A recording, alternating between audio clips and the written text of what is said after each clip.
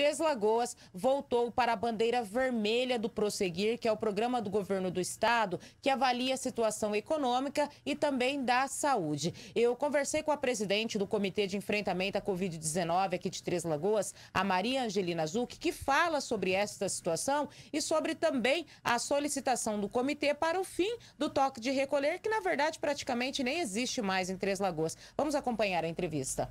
Pois é, Três Lagoas voltou para a bandeira vermelha do programa Prosseguir. Para a gente falar um pouquinho sobre essa situação da pandemia aqui na nossa cidade, a gente conversa agora com a presidente do Comitê de Enfrentamento à Covid-19, a Maria Angelina Zuc. Angelina, Três Lagoas, então, regrediu, apesar dos casos de Covid estarem reduzindo, reduzindo né? O porquê que voltou para a bandeira vermelha? Bom, nós temos alguns indicadores a serem seguidos e neles entram também não só do município de Três Lagoas, como da nossa regional e do estado. E após a avaliação pelo grupo técnico né, do programa Prosseguir, nós estamos classificados com, na bandeira vermelha a partir dessa semana já, assim como outros municípios também retornaram. Isso nos coloca numa situação de alerta, é o que a gente vem falando a todo momento. A pandemia ela não acabou. Nós estamos na queda de números, estamos aumentando o número de vacinados, mas, por exemplo, Três Lagoas, com a segunda dose, nós ainda estamos distante do que seria é, um número confortável, que seria em torno de 80%, mais ou menos, para que a gente tivesse uma proteção para a comunidade como um todo. Mas nós ainda não atingimos 50% com duas doses. Então, mais uma vez, a gente aproveita este momento para aquelas pessoas que já foram aprazadas para a segunda dose, que ainda não compareceram, que procure as unidades de saúde para completar as suas doses.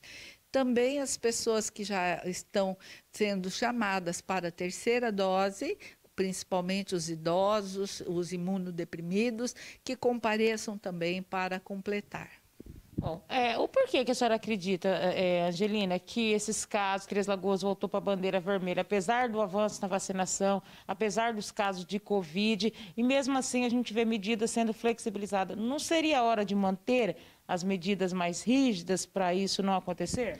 Sim, nessa última reunião do comitê é, foi flexibilizado apenas a questão do toque de recolher, porque entre fechar duas horas da manhã, como né, vem acontecendo, e deixar aberta, ela não tem tanta influência na questão do controle do Covid. Ela teria uma ação assim maior na parte de, das violências, né, é, acidentes, outras razões. Então, é, seguindo também o que o Estado é, colocou e a maioria dos municípios estão é, com todo o toque de, aliás, sem o toque de recolher. Então, Três Lagoas também, a partir, né, foi encaminhado ao prefeito para que ele aprecie junto com a equipe técnica se concorda com essa sugestão do comitê em por fim ao toque de recolher aqui no nosso município.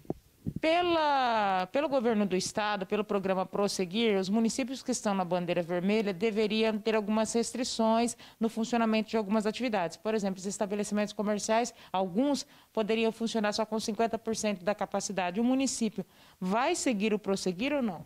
Nós estamos é, seguindo o que já estava no decreto municipal, que é levando em consideração o tamanho do estabelecimento. Então, existe uma fórmula né, para o número de pessoas que cabe por metro quadrado dentro dos estabelecimentos. Isso já estava sendo seguido pelos, pelos regramentos aqui do município, que era mais restritivo do que o do Estado.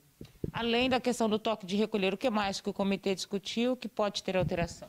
Só foi mesmo uma solicitação de um evento do circuito de cavalos, então que foi liberado neste momento. Nós recebemos inúmeras solicitações, mas é, ficou para a próxima reunião para que a gente possa avaliar o comportamento da doença após esse feriado prolongado, não é? Por exemplo, eventos estão liberados em Três Lagoas? Alguns eventos eles já estão liberados, principalmente o pessoal da Brasel, não é, que já orientou aos seus associados como é que deverão acontecer esses eventos. Estão a, com até 300 pessoas, desde que sejam respeitados o distanciamento, uso de álcool, o controle dessas pessoas para entrar dentro do evento e o uso da máscara o período todo, né? A gente tem visto alguns convites já sendo vendidos para alguns shows. Shows estão liberados também? Por enquanto ainda não. Talvez o que esteja acontecendo é as pessoas na expectativa para daqui a alguns meses. E a gente sabe que para você fazer um show de um movimento grande, com um número maior de pessoas, você precisa de um tempo hábil para ter essa venda de ingressos.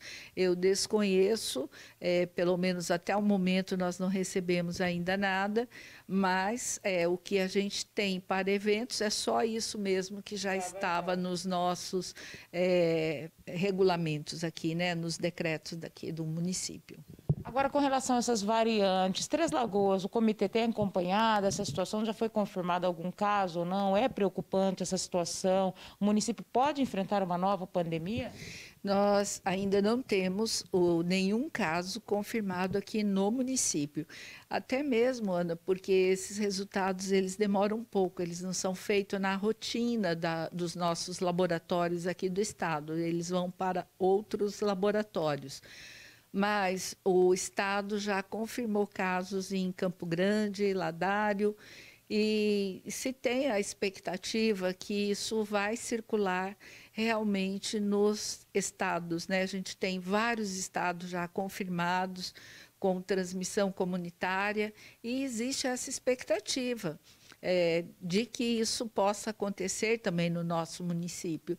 Por isso, a gente tem a cautela e a todo momento pedindo para a população que a pandemia não acabou, que tem necessidade do uso da máscara, manter distanciamento, evitar aglomerações, para que a gente não passe pelo que passamos no primeiro semestre, não é? Porque aí você tem o colapso da assistência à saúde, o que acaba aumentando o número de óbitos no município.